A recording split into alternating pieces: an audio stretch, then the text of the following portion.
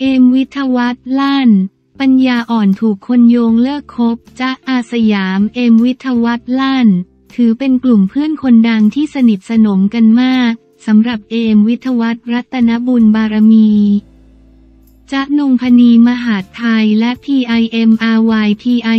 หรือพิมรดาพรเบญจวัฒนพัฒน์แถมก่อนหน้านี้มีดราม่ากันฉ่ำแบบรับไม้ต่อรวมถึงเมื่อก่อนจ๊ะเอมมักจะมีคอนเสิร์ตร่วมแต่พอหลายคนไม่เห็นรับงานคู่เลยถูกโยงว่าทะเลาะแตกคอ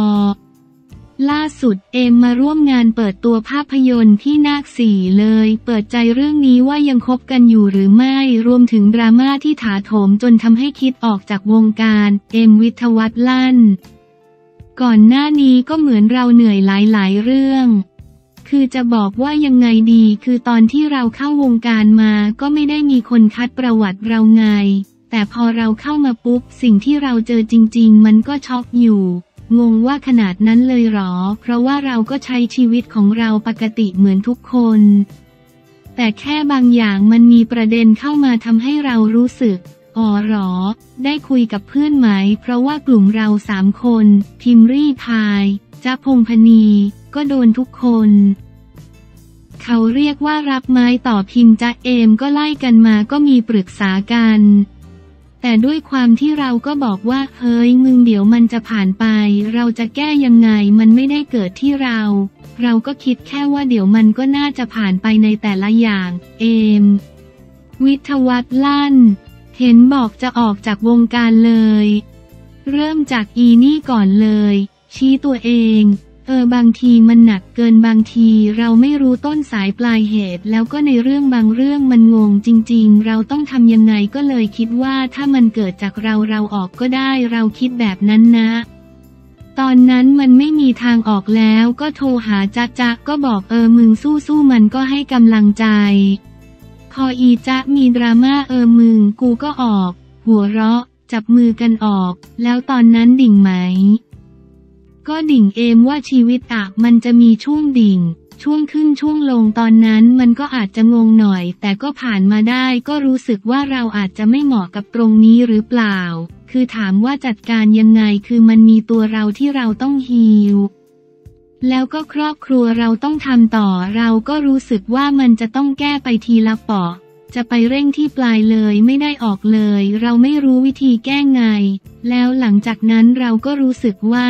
ถ้าค่อยๆ แก้มันก็น่าจะดีขึ้นเอมวิทวัฒน์ลั่น หลายคนจนนึกภาพไม่ออกเวลาคนที่ภายนอกดูสดใสอารมณ์ดีแบบเราเศร้าจะเป็นยังไง เต้น หัวเราะ ไม่ใช่คือมันเป็นข้างในมากกว่า เราก็คิดนะ หรือเราเป็น introvert ไม่อยากเจอคน แต่ก็อยากเจอนะ สรุปเป็น introvert แค่รู้สึกเราเจอคนแล้วก็กลัวมากกว่ากลัวว่าทำอะไรก็จะเป็นดราม่า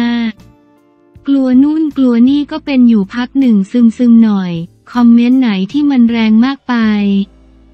ไปถึงย่าไปถึงยันที่บ้านเลย บ้านมึงไม่สั่งสอนหรออีกระเทย เข้ามาอยู่ในวงการทำเสื่อมเสีย นู่นนี่นั่นไม่เข้า ก็จะให้กูเข้าพอบอกเข้าเข้ามาตอนไหนคือที่เอ็มซีเรียสอะมันโยงไปมั่วเลย คือให้เรียกว่ารับจ้างดีกว่าใช้คำว่า รับจ้างให้เล่นหนังก็มาเป็นนักแสดงไปเป็นพิธีกร ก็เรียกพิธีกรไปเล่นคอนเสิร์ตบนเวทีก็เรียกนักร้องไป ก็แล้วแต่คนจะเรียกส่วนตอนนี้เอมก็ทำไปเรื่อยเลยหนังก็ต้องทำรายการก็ยังมีลูกน้องที่ต้องเลี้ยง เพลงก็ยังต้องร้องอยู่แล้วก็ขายสินค้าด้วยทำทุกอย่าง แล้วคอนเสิร์ตจะเอมไม่มีแล้วหรอ คือมันไม่ได้เชิงเลิกเหมือนว่าไปทำมาปีหนึ่งมันเต็มแล้ว คือเอมมีวงเดี่ยวอยู่แล้ว ตอนนี้ก็คุยกันว่าต่างคนต่างรับเนาะ ดังแล้วแยกวงหรอ โอ้โห หนักกว่าเดิม คือเอมมีวงเดี่ยวก่อนอยู่แล้วก่อนที่จะมาขึ้นกับจ้าแล้วตอนนั้นน่ะไปเซอร์ไพรส์เขตก็เลยจ้างคู่ แต่กลายเป็นว่าตอนนี้จ๊ะก็มีวงของนางเหมือนกัน กลัวไหมว่าคนไปโยงว่าเราทะเลาะกัน ไม่กลัวคนที่โยงว่าเอมจะทะเลาะกันคือคนปัญญาอ่อน ไม่ได้ทะเลาะกันยังคุยกันตลอดอยู่เลย แต่เราคุยกันตั้งแต่แรกเลยว่าช่วงนี้เรารับด้วยกันเนาะเป็นเงินเป็นทอง ปีหนึ่งรับทั้งหมดเลย แล้วตอนเนี้ยมึงก็ไปรับวงมึงกูก็รับวงกู เพราะว่าถ้าตอนเนี้ยเรายังรับคอนเสิร์ตกับจ๊ะวงเราก็จะไม่มีงานเลยวงเดี่ยวของเรา ชื่อปีนงิ้วก็มีสิบกว่าคนเอมวิทวัฒน์ลั่น เห็นเมื่อก่อนบอกแกล้งร้องไม่เพราะ ตอนนี้ก็ไม่ได้แกล้งค่ะ หัวเราะจะบอกว่าเวลารับงานคู่ค่าตัวเยอะมาก เดี๋ยวโทรหาจ๊ะ ยกโทรศัพท์ขึ้นมากดโทรหาจ๊ะ ถามเลยทะเลาะไหม ถ้าไม่รับแปลว่าทะเลาะ จะรับสาย มึงมึงกูสัมภาษณ์อยู่มึงกับกูทะเลาะกันไหม จ๊ะ อยู่แล้วค่ะ ทะเลาะค่ะ เออแค่นี้นะ หัวเราะ เราทะเลาะกันค่ะ บางทีคนไม่เห็นอยู่ด้วยกัน ก็คิดว่าเราแตกกันทะเลาะกันนู่นนี่นั่นปกติ เห็นเคยให้สัมภาษณ์ว่าเวลาไปเล่นคอนเสิร์ตตามผับร้านอาหาร เจอลูกค้าด่า เรียกจิกหัวโดนหนักขนาดไหน คือมันเลือกไม่ได้ เพราะว่าเราอะเลือกที่จะเข้าไปทำงานอยู่ในนั้นคือในร้านเหล้าทุกคนเมาหมด คือแรกๆเราอาจจะงงว่ามาด่าเราทำไม แต่หลังๆเราต้องปรับความเข้าใจ เพราะว่าเราก็ต้องหากินกับทางร้านเหล้า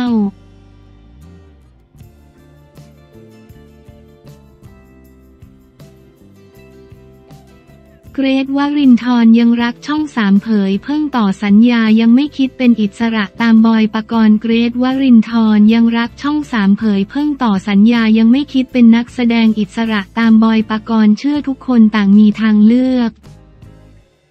ช่วงนี้นักแสดงมากฝีมือของช่องสามทยอยไม่ต่อสัญญาล่าสุดเจอพระเอกมากฝีมืออย่างเกรทวรินทร์ปัญหาการมาโปรโมทละครเรื่องมือปราบมหาอุดที่ช่องสามผู้สื่อข่าวจึงได้สอบถามถึงเรื่องสัญญากับช่องสาม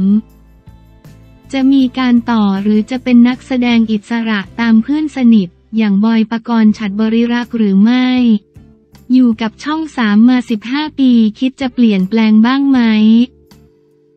ไม่คิดครับ ตอบตรงนี้ได้ เพราะว่าณตอนนี้ผมคิดแบบนี้จริงๆ ผมไม่ได้คิดที่จะเปลี่ยนแปลง เพราะว่าเรารู้สึกว่ามันคงที่ในหลายๆ อย่าง ทางช่องสามเองก็เป็นที่แรกที่ให้คำว่าอาชีพนักแสดงกับเรา ผมรู้สึกภาคภูมิใจตรงนี้ทั้งตัวเองด้วยและทั้งผู้ใหญ่ด้วย โดยส่วนตัวเป็นคนที่ถ้าอยู่ตรงไหนแล้วมีความสุขแล้ว แฮปปี้แล้วก็ไม่ได้คิดว่าจะไปอะไรมากขนาดนั้นนะ ตอนนี้รู้สึกแบบนั้นและก็การงานหรือว่าบทบาทหรือสิ่งที่ได้รับมอบหมายมา มันยังคงอยู่ในจุดที่เรามีความสุขก็มีความสุขแล้วก็เลยไม่ได้คิดว่าจะเปลี่ยนไปไหน พูดเหมือนเพิ่งต่อสัญญากับช่องสามเพิ่งต่อไป กี่ปี พูดตรงๆจำไม่ได้แต่ไม่ต่ำกว่า3ปี ตลอด 15 ปีก็อยู่ช่องสามมาตลอด ใช่ๆก็อย่างที่ผมบอกว่ามันมีความสุขกับงานที่ได้รับมันเป็นตำแหน่งที่ผมอยู่แล้วรู้สึกว่าผมมีความสุข ทั้งที่พี่ที่ เจอผมมาตั้งแต่เด็กเลยรู้สึกว่าณตรงนี้มันก็เหมือนบ้านอีกหลังหนึ่งของผม แล้วเราก็ทำงานที่นี่มาตลอดเราเลย รู้สึกว่ามันมีความสุขอยู่ไม่ได้คิดที่จะเปลี่ยนแปลงไปไหน อย่างบอยปกรณ์เขาก็ได้เป็นนักแสดงอิสระมีเส้นทางใหม่แล้ว มีผลกับการตัดสินใจถึงการเปลี่ยนแปลงของเราบ้างไหม ไม่มีครับ ผมว่าของแบบนี้มันอยู่จุดมุ่งหมายของแต่ละคน ไม่ได้มีผลอะไรครับ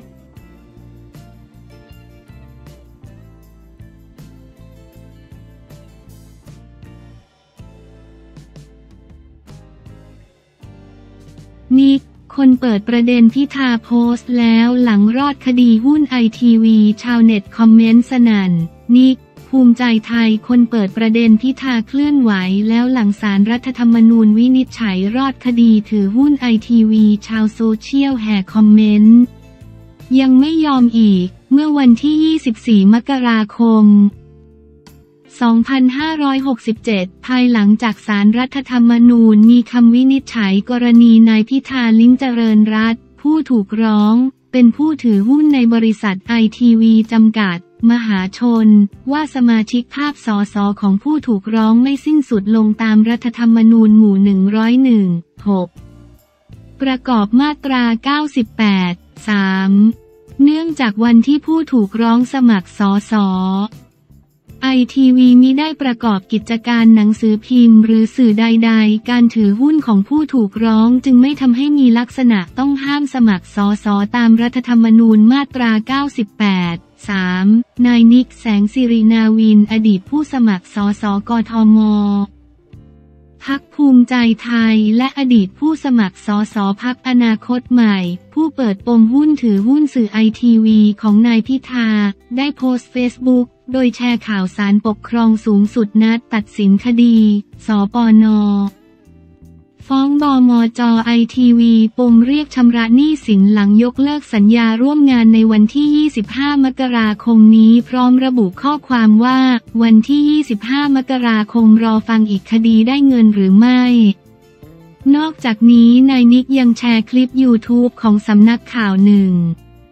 กรณีสารรัฐธรรมนูญอ่านคำวินิจัยคดีหุ้นไอทีวีของพิธาด้วย ขณะที่โซเชียลเข้ามาคอมเมนต์แสดงความคิดเห็น โดยระบุว่ายังยังไม่ยอมอีก